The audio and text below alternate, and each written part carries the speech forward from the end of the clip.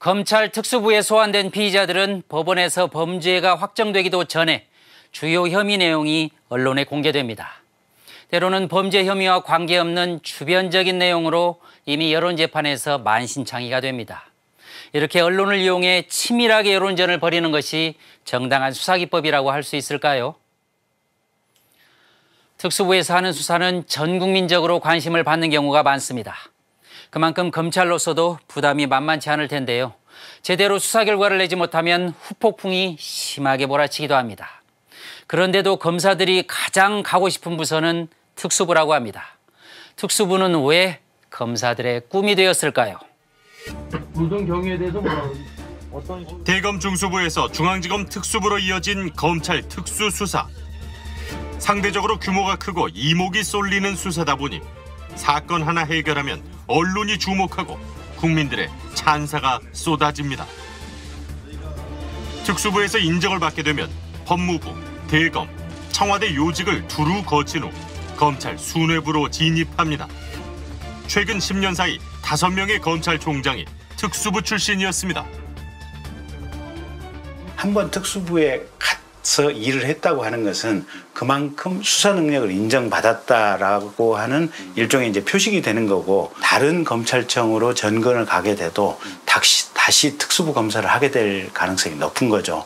그래서 그렇게 한 검찰청 한 서너 군데만 전전하면서 특수부, 특수부, 특수부를 하게 되면 계속해서 이제 특수부 검사라는 이제 이 라벨이 붙고 그러면서 특수통이다. 특수부를 거친 검사는 약 2, 300명. 이들은 각 지검의 특별수사 전담부서에서 경력과 인맥을 쌓습니다. 선배 검사들에게 도제식으로 수사 노하우를 전수받기 때문에 선후배 사이의 의리도 남다르다고 합니다. 이 2, 300명이 전국 각지를 돌아다니면서 서로 같이 근무를 하다 보면 굉장히 친해질 수밖에 없고 가까워질 수밖에 없습니다. 그래서 한 식구다 또 뭐 이런 소속감들이 생기는 거죠. 특수통의 진가는 퇴임 후에 더 발휘됩니다. 전관 경력이 고액의 수임료로 연결되기 때문. 정은호 게이트에 연루돼 수감된 홍만표 전 검사장. 그는 퇴임 후 1년 4개월간 100억 원대의 수임료를 받았다고 합니다. 특수부를 그만두고 나서 검사를 퇴임하고 나서 개업을 하게 되면은 이 사람들이 이제 변호사로서 개업을 하죠. 그럼 정관 예우라는 것을 통해서 정관 예우를 통해서 기존 특수부에 있던 중요한 사건들 거기에는 아무래도 중요한 인물들이 피의자로서 수사를 받지 않습니까? 그 사람들은 자기가 갖고 있는 모든 자원을 동원해서 이 사건으로부터 벗어나기 위해서 노력을 할 거 아닙니까? 그럼 현재의 특수부 검사와 끈끈한 관계를 갖고 있는 변호사를 찾게 되는 거죠. 그러면 그게 거액의 어떤 수임료가 왔다 갔다 할 것이고요. 음, 그런 거고 로얄 젤리를 서로 나눠 먹는 사이라고 생각하시면 될 것 같습니다. 네, 오늘 제 4... 대표적인 특수통 윤석열 총장은 늘 법과 원칙에 따른 수사를 강조해 왔습니다. 형사 법 집행은 국민으로부터 부여받은 권력이고 가장 강력한 공권력입니다.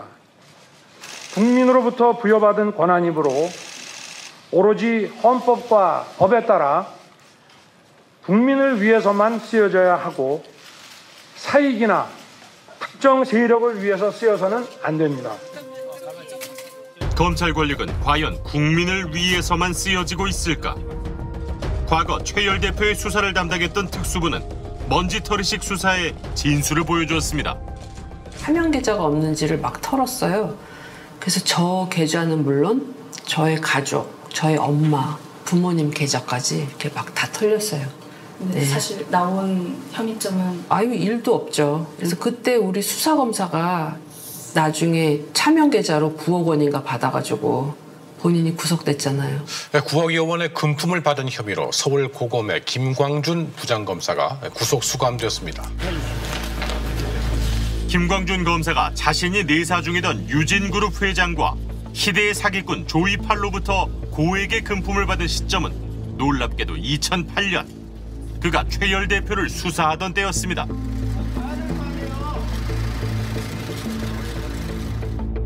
김광준 검사의 판결문에는 최최 대표의 공소장에 있던 똑같은 죄명이 그대로 적혀 있습니다. 그런데 수사 당시 경찰이 신청한 김 검사의 계좌 압수수색 영장이 기각됐습니다. 그러니까 서울지방경찰청에서 예. 한 기자 추적해겠죠. 왜냐하면 예, 그 예. 돈이 흘러온 것도 있겠지만 어디로 나갔다는 것도 있을 거 아니에요. 예, 예. 그래서 기자 추적 영장 신청했어요. 그랬더니만 그 당시에 음. 에, 영장 그 기자 추적 영장을 기각한 게 누구냐면 윤석열이었어요. 그 당시 음. 담당 부서가 서울중앙지검 특수일부였거든요. 당시 윤석열 부장은 경찰의 영장 청구가 함량 미달이었다고 주장했습니다. 특수산부 검사들이 사건에 연루됐다는 의혹도 있었지만 모두 무혐의 처리됐고 수사는 종결됐습니다. 문제는 이거죠. 검찰 입장에서 볼 때 이거 덮하고 들어가면 큰일 난다. 다 죽는다. 만약 이것이 자기 식구가 아니었으면요. 아, 끝까지 팠을 거예요, 분명히. 음. 자기 식구는 많이 감싸요. 근데 자기 식구 아니면 끝까지 파. 윤석열 총장이 중용하는 특수통 검사가 있습니다. 한동훈 반부패 강력 부장입니다. 보드리겠습니다. 한동훈 검사는 윤석열 총장에게 어떤 존재일까? 윤석열이랑 한동훈이 서울중앙지검에 있으면서 검사장하고 3차장 할 때도 그랬고 그 다음에 대검 가서 총장이랑 반부패부장으로도 같이 있기도 했고 결국엔 자기 의중을 제일 많이 하는 사람이 한동훈인 거죠. 지난 2월 13일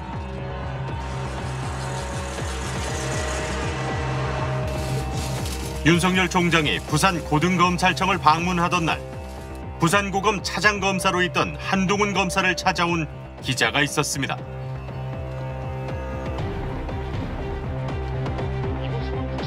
채널A 이동재 기자. 그는 한동훈 검사가 중앙지검 3차장으로 특수수사를 지휘하던데 무려 34회나 단독 보도를 했습니다. 덕분에 기자상도 받았습니다. 그날 둘 사이엔 어떤 대화가 오갔을까?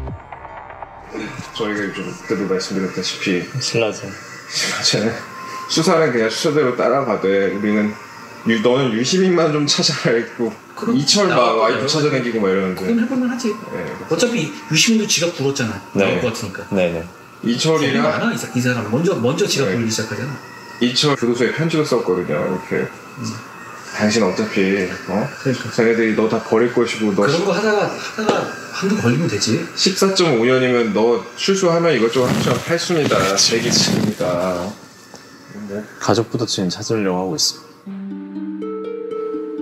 이동재 기자는 한동훈 검사에게 말한 대로 자본시장법 위반으로 12년형을 선고받고 복역 중인 이철 전 대표에게 편지를 보냈습니다. 어투는 공손했지만 내용은 협박에 가까웠습니다. 채널의 이동재 기자입니다. 검찰은 대표님의 자산과 대표님이 소유하던 부동산 자금에도 다시 한번 추적에 착수한 상황입니다. 소유하셨던 양주 부동산에도 수사 인력이 왔다 간 것으로 알고 있습니다. 가족의 재산까지 먼지 하나까지 탈탈 털어서 모두 빼앗을 가능성이 높습니다. 왜 대표님이 과도한 책임을 모두 떠안아야 될까요? 솔직히 말씀드리면 저는 유시민 이사장 등 정관계 인사들이 강연과 행사 참석 대가로 얼마를 받았는지 이후 주식 매입에 관여했는지 궁금합니다. 이철 전 대표는 VIK라는 투자 회사를 운영했고 2015년까지 신라젠의 대주주로 있었습니다. 유시민 이사장은 당시 이 전 대표의 요청으로 특강을 한 사실이 있는데 그걸 빌미 삼았습니다. 수사는 과도하게 이뤄질 것입니다. 이미 6명의 검사가 투입됐습니다. 사모님을 비롯해 가족, 친지, 측근분들이 다수 조사를 받게 될 것입니다. 가족분들이 처벌받게 될 가능성이 높습니다. 이 편지에 누구보다 놀란 건 이전 대표의 아내입니다.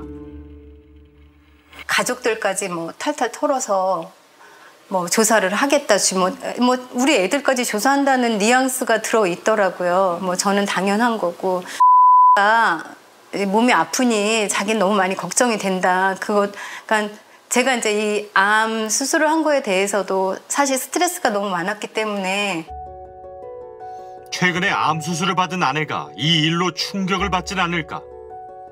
딸에게 보낸 이전 대표의 편지에는 가족들에 대한 걱정이 가득입니다.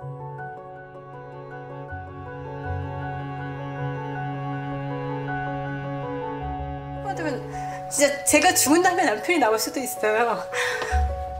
아내는 행여 남편이 또 다른 사건에 휘말리진 않을지 두렵습니다.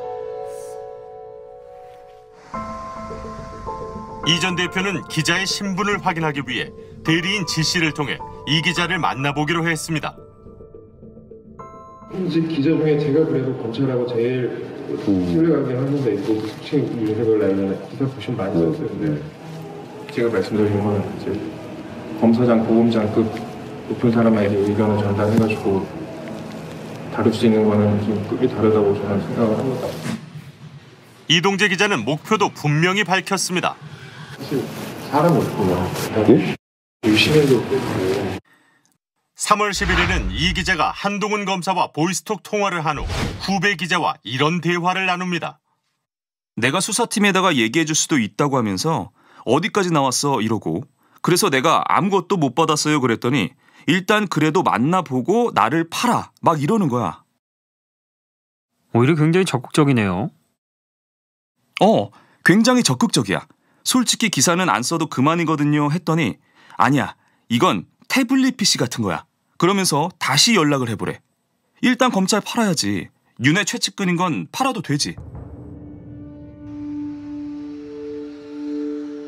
이후 이 기자는 대리인 지 씨에게 윤 총장의 최측근이라는 검사와 통화한 녹음 파일까지 들려줍니다.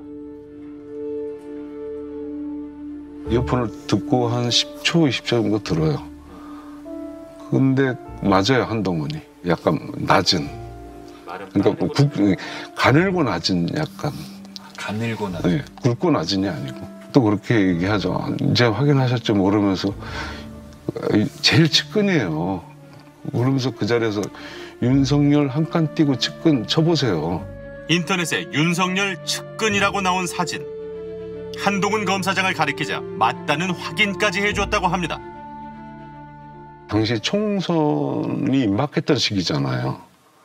그렇다면 예를 들어서 바꿔서 생각을 해봤어요. 이게 이철 대표가 유시민 씨한테 돈을 줬다고 진술을 하고 그러면 그 전에 봐왔던 조국 장관의 수사처럼 수십 군데 수백 군데 압수수색을 통해서 언론에 발표되고 유시민 장관이 검찰의 포토라인에 서는 순간 그 총선은 어떻게 되겠어요?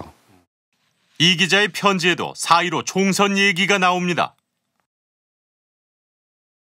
야권이 총선에서 과반수 차지할 가능성이 매우 높은 상황입니다. 정권이 바뀔 가능성도 높기에 대표님께서도 그런 부분들을 고려하셨으면 합니다. 수사는 생물이며 검찰 역시 이런 전국을 신경 쓸 수밖에 없습니다.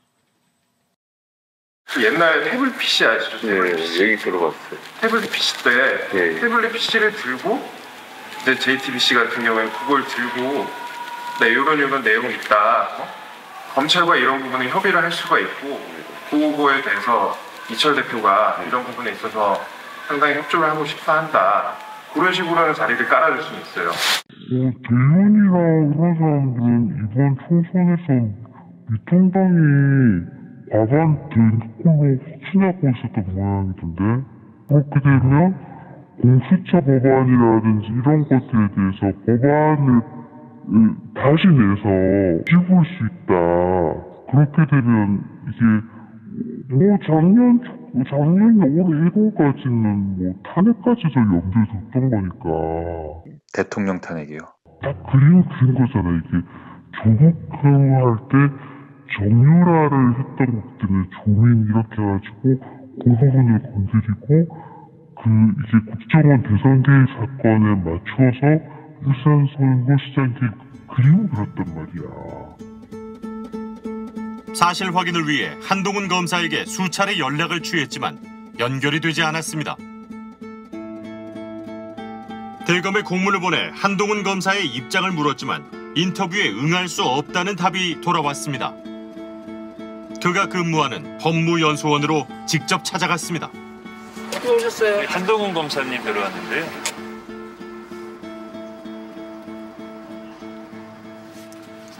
네, 예, 예, 네, 알겠습니다. 네, 네, 네, 네. 안 만나신대요. 본인이 안, 안 만나신다. 아, 그 한동훈 검사님 의사가 확인이 된 네, 예, 예. 관련 사실이 처음 보도되기 전 한동훈 검사는 MBC에 이동재 기자와 신라젠 관련 대화를 한 사실이 전혀 없다며 공모 의혹을 부인했습니다. 그리고 지난 7월 한동훈 검사와의 통화 녹음과 녹취록을 모두 지운 채널A 이동재 기자는 구속됐습니다. 그러나 한동훈 검사는 수사에 협조하지 않고 있습니다. 이른바 검언 유착 사건의 진실은 밝혀질 수 있을까? 윤석열 검찰총장이 정말로 신뢰성을 얻으려면은 음, 조국 일가에 대해서 수사했던 방식으로 해주면 우리가 다 신뢰할 수 있죠. 예외가 음, 정말 없다. 어, 예외가 없어야죠. 예외가 없어야죠. 그게 형평성 문제지 않습니까? 윤석열 총장이 보여줬던 것은 예외가 없다는 거지 않습니까? 1981년 전두환 정권과 함께 대검찰청 중앙수사부가 출범한 이래 수십 년째 검찰 특별수사에 대한 비판이 끊이지 않고 있습니다. 하명수사 처리 부서, 정치검찰과 같은 오명이 이어져 왔는데요. 가족수사와 같은 별건 수사 등으로 지탄을 받기도 했습니다. 그때마다 검찰은 대검 중수부에서 반부패부, 부패범죄 특별수사단, 반부패 강력부로 간판을 바꿔 달아왔습니다. 하지만 특수수사의 문제는 여전히 반복되고 있습니다. 한국 검찰은 세계적으로 유례가 없을 정도로 강한 권력을 가지고 있습니다. 이 절대 권력을 견제하기 위해 공수처법이 통과되었지만 아직도 공수처는 출발하지 못하고 있습니다. 부디 검찰 개혁이 순조롭게 진행되어 국민들에게 신뢰받는 검찰로 다시 태어나기를 바랍니다. 니다